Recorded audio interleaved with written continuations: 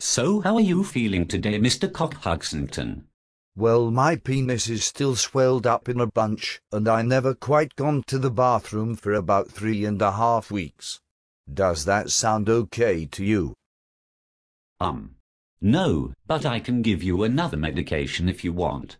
No thanks. I'm done with this bullshit. I am out of here. Wait. There's another option. What is it? You can get plastic surgery on your dick. You.